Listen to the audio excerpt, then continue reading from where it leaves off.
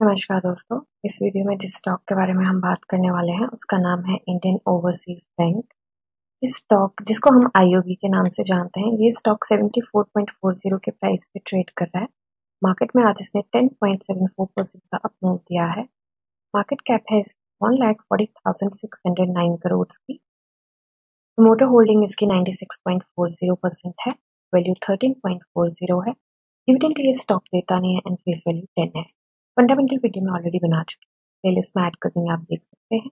अभी के लिए देखे तो stock fifty and two hundred ये दोनों से ऊपर ट्रेड कर है जो कि एक अच्छी बात है। पी रेशो की बात करें तो मीडियम से थोड़ी सी ऊपर है फाइव ईयर्स के टाइम स्पैम पे।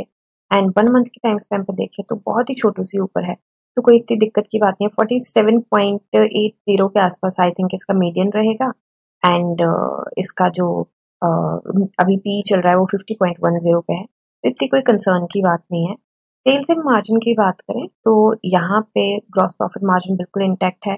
ऑपरेशन प्रॉफिट मार्जिन थोड़ा सा डाइव डाउन किया है। एक बार चेक कर लेते हैं। हाँ जी ऑरेंज कलर का ये मस्टर्ड से कलर का ऑपरेशन प्रॉफिट मार्जिन है एंड ये नेट प्रॉफिट मार्जिन है।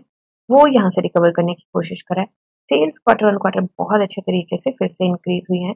अब यहाँ पे हिडन है थोड़ी सी चीज़ें जो मैं आपके साथ ज़रूर साझा करना चाहूँगी।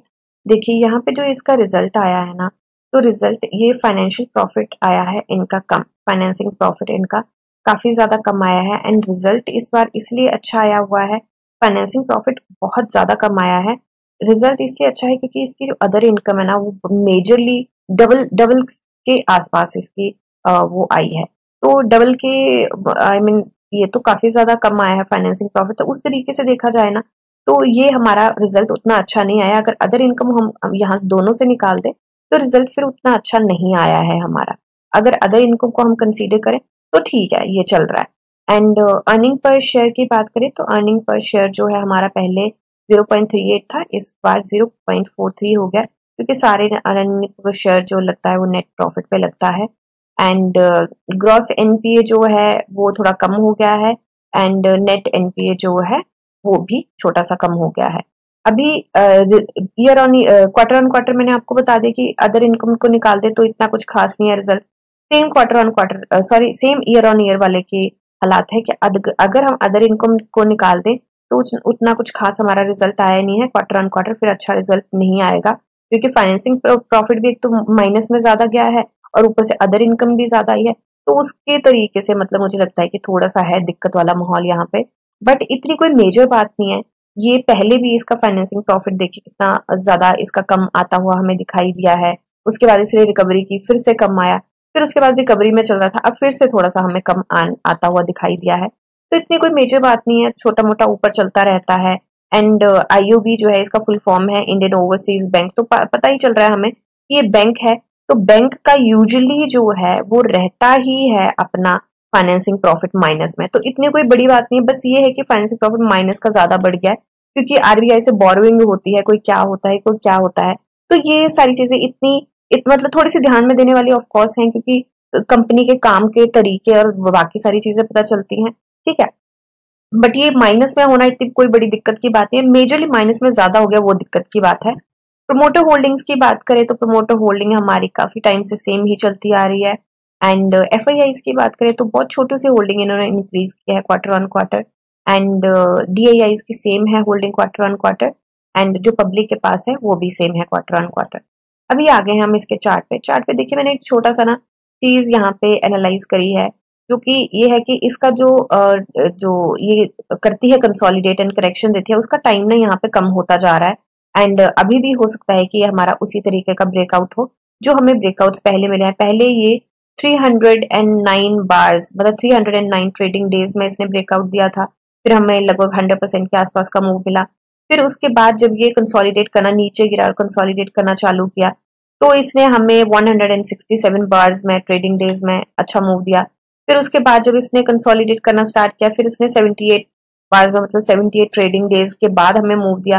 फिर उसके बाद इसने अभी 68 ट्रेडिंग डेज़ के बाद, हो सकता है कि ये हमारा यहाँ से निकलने का चांस हो, जैसे कि ये पैटर्न बनाता है, क्योंकि आप यहाँ पे देखिए कि यहाँ पे भी जब ये निकलने लगा तो RSI इसी पॉइंट पे थी, यही सेम पैटर्न बना था आरएसआई ऊपर गए यहाँ पे देख ले तो आरएसआई कहीं ना कहीं उसी सेम पैटर्न पे थे और आरएसआई ऊपर गए अभी भी कहीं ना कहीं मेरे को लगता है कि वही पैटर्न बन रहा है और हो सकता है कि यहाँ से हमारा स्टॉक निकल जाए। तो पहले का देखें यहाँ पे 87 परसेंट का हमें मूव मिला है, यहाँ पे 95 परसेंट का मूव मिला है। यहाँ पे तो हमें थोड़ा ज़्यादा मिला था 154 परसेंट का मूव मिला है। तो हम 87 नहीं लेके चल रहे 95 93 नहीं लेके चल रहे, हम यहाँ पे सिर्फ़ 60 परसेंट के मूव की उम्मीद लेके चल रहे हैं कि हो सकता है, और ये कितने टाइम में दिया है इसने मूव एक बार टाइम भी हम चेक कर लेते हैं कि कितने मेजर टाइम में ये मूव देता है यहाँ पे, क्योंकि बीच में हिकअप भी आता है कंसोलिडेशन भी होती है। तो 34 बार्स मतलब 30 ट्रेडिंग डेज़ एंड 53 मतलब दो महीने के अंदर यहाँ पे दिया है इसने। अब यहाँ पे चेक कर लेते हैं कितने टाइम में दिया है। तो ये यहाँ तक गया था हाई तो ये भी इसने लगभग लगभग डेढ़ महीने के अंदर अंदर दिया था। तो हो सकता है कि ये जो हम टारगेट लेके चले हैं सिक्सटी परसेंट के, हो सकता है कि हमें ये क्योंकि ये जून, ये मई चल रहा है तो जून का महीना और जुलाई का, हो सकता है फिफ्टीन जुलाई तक हम इस स्टॉक को यहाँ ट्रेड करता हुआ देखें, जो कि बहुत बड़ी बात नहीं होगी, क्योंकि इसमें सिक्सटी परसेंट में से हम छोटा सा अचीव कर चुके हैं, अगर ये पैटर्न सही है तो। ठीक है, अगर ये सेम पैटर्न को ये फॉलो करता है, जो इसने पहले किया है एंड ये वाले हम देखना भूल गए कि यहाँ पे इसने कितने परसेंट के मूव दिए थे। तो यहाँ से इसने चालू किया था एंड यहाँ तक इसने दिए थे हंड्रेड परसेंट के मूव दिए हैं लगभग। तो हम अभी तो सिक्सटी परसेंट के ही लेके चले थे और अगर यहाँ से ब्रेकआउट इसने दिया है तो मुझे लगता है कि एक सौ ग्यारह, एक सौ दस, एक सौ बारह के आसपास हो सकता है। जुलाई फिफ्टीन तक हम इसको ट्रेड करता हुआ देखें। ठीक है? और उसको अचीव करने के लिए हमें फिफ्टी परसेंट के आसपास की मूव की उम्मीद है। एंड आज जो हमें कैंडल मिली है अब आ जाते हैं हम प्योर टेक्निकल्स पे। तो आज जो हमें कैंडल मिली है वो हमें मिली है एक मारूवोजू कैंडल हमें यहाँ पे देखने को मिली है। एंड uh, uh, काफ़ी अच्छा वॉल्यूम भी आया है। कल वॉल्यूम फ्राइडे को जो वॉल्यूम आया था वो आया था 17 मिलियन का। एंड आज जो आया है 125 मिलियन का आया है एनएससी पे मतलब बारह साढ़े बारह तेरह करोड़ के आसपास का वॉल्यूम आया है। बहुत अच्छा वॉल्यूम आया है। अब ये वॉल्यूम क्यों भी आया है? एक न्यूज़ भी है गूगल पे, उसको मैं आपको बता दू। तीन दिन पहले की न्यूज़ है, दो दिन तो छुट्टियाँ थी तो फ्राइडे को ये न्यूज़ निकल के आई है कि ये जो है इंडियन ओवरसीज बैंक जो है आईओबी ये फाइनेंशियल ईयर 2024 एंड 2025 जो अभी फाइनेंशियल ईयर चल रहा है, उसमें new eighty eight new branches open कर रहा है।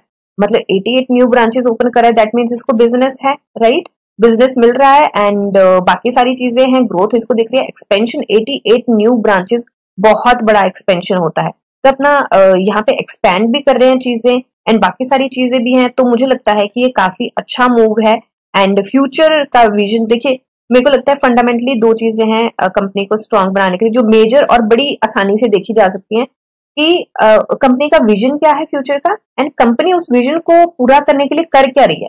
दूसरी वाली चीज़ बहुत इंपॉर्टेंट है कि कंपनी का एग्जीक्यूशन क्या है कंपनी कर क्या रही है, ठीक है? तो अभी के लिए मुझे लगता है कि कंपनी का विजन भी अच्छा है एंड कंपनी कुछ कर भी रही है। एंड यहाँ पे भी अगर हम आरएसआई देखें तो आरएसआई ने वही सेम पैटर्न बनाया था। पहले ऊपर गई छोटा सा हॉल्ट बनाया, उसके बाद ऊपर गई। यहाँ ऊपर गई, छोटा सा हॉल्ट बनाया, उसके बाद ऊपर गई। तो आर एस आई यहाँ पे रेंज चेंज करती है इसकी एंड उसके बाद ये मूव देती है। एंड आर एस आई इस टाइम है seventy one point five two के पॉइंट पे। एंड जब जब ऐसे ऐसे मूव हमें मिले हैं, एक बार आर एस आई का चेक कर लेते हैं, यहाँ पे हमें मूव मिला है तो आर एस आई हमारी गई है यहाँ पे एटी थ्री यहाँ पे मूव मिला है आर एस आई हमारी गई है यहाँ पे एटी एट एंड इसके बाद हमें यहाँ पे मूव मिला है हंड्रेड परसेंट के आसपास का तो नाइनटी टू गई है, ठीक है? तो अब देखिए, इसको मैं थोड़ा सा जब ये शेडिंग आ जाती है, इसको मैं ओवरबॉट जोन भी कहती हूँ लेमन लैंग्वेज में, कि वहाँ से बेसिकली टेक्निकल लैंग्वेज में इसको कह सकते हैं कि रिवर्सल मिलने वाला है, ठीक है? तो अब देखिए ट्रेडिंग व्यू का भी स्ट्रॉन्ग बाई है। ये जो टारगेट है ट्वेल्व पॉइंट सेवन टू के, ये मैं लेके चली हूँ चार जून तक, ठीक है? एंड मुझे लगता है कि ये तेरह परसेंट के आसपास दे सकता है वहाँ से। ये मैं क्यों लेके चली हूँ? कि हो सकता है इसके ऊपर के मूव दे जाए बट सस्टेन ना करे, क्योंकि ये इसके हाई के हैं। फिफ्टी टू वीक हाई का यहाँ पे रेजिस्टेंस है तो मुझे लगता है थोड़ी सी मशक्कत करनी पड़ेगी। बाकी निकल गया तो निकल गया। अब यहाँ पे देखें तो प्राइस बैंड जो है ट्वेंटी परसेंट का है। एंड ये मूव मैंने आपको बता दी कि फिफ्टीन जुलाई के हैं। तो बस ये मेरी एनालिसिस है बाई सेल होल्ड की कोई रिकमेंडेशन नहीं है। आप अपनी एनालिसिस कीजिए, जानिए, समझिए, पढ़िए और फिर इन्वेस्ट करिए। मिलते हैं नेक्स्ट वीडियो में, तब तक के लिए शुक्रिया एंड हैप्पी इन्वेस्टिंग